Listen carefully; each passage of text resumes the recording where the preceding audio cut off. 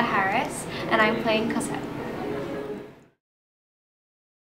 Well, I think as of right now, my favorite song is In My Life, um, or A Heart Full of Love. Um, they're just so sweet, and it's the first time I sing on stage, so that's fun. But um, it's just very cute and very sweet, and it's the first time she falls in love, and so that's really fun. I also love singing One Day More. It's so powerful, and so and everyone knows that song, so it's super fun.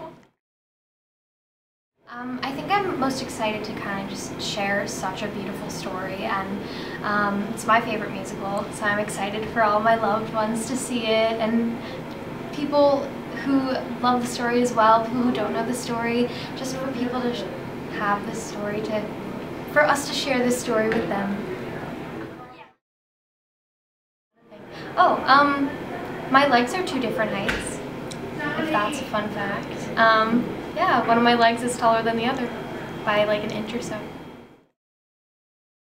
You should come see Les Mis to see such beautiful people tell a wonderful story, of course. And um, everyone has worked so hard to get this production to be, you know, incredible, and it will be incredible. So you should share it with us.